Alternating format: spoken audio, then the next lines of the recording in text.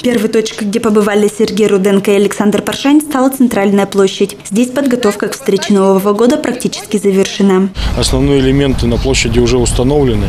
Осталось только, э, так скажем, ну, какие-то нюансы, почистить, приготовиться. Но время еще есть, поэтому я думаю, что к главному празднику, так скажем, года, к встрече Нового года будет готов весь ледовый городок. Аттракционы уже поставлены. Далее руководители отправили случайно выбранную аптеку, чтобы лично узнать, как изменилась ценовая политика за последнее время и появился ли повышенный спрос на медикаменты. Заведующая аптека поделилась, что производители увеличили стоимость товаров, но на потребительском ценнике это практически не отразилось. Поставщики по-прежнему привозят все в срок и в нужных количествах. При этом сотрудники работают в обычном режиме и дефицита не ожидают. Э, каждый медицинский препарат имеет свой срок годности. Наверное, покупать на ближайшие 5-10 лет его нет смысла.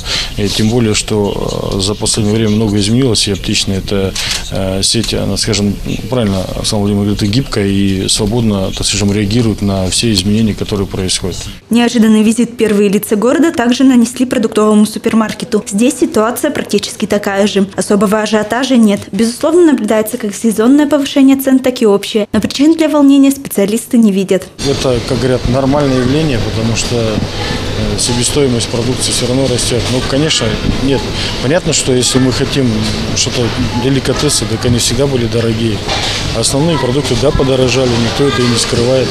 Но они есть и никуда пропадать не собираются. Последней точкой выездного совещания стала школа номер 17. Там Сергей Руденко и Александр Паршань посмотрели, как идет подготовка к Новому году. В этом вопросе у образовательного учреждения нет проблем. Школа более 20 лет каждый год проводит сказки для детских садов. Представления для малышей уже начались. Валерия Мельникова, Глеб Печорских, Лидия Кайгородцева, информационное агентство «Курган.ру».